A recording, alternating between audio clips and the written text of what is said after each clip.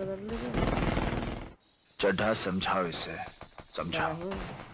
ऐसे खिलौने बाज़ार में बहुत बिकते हैं। मगर इसे खेलने के लिए जो जिगर चाहिए ना वो दुनिया के किसी बाज़ार में नहीं बिकता। मालूम है तेरे बाप को मत सिखा चल।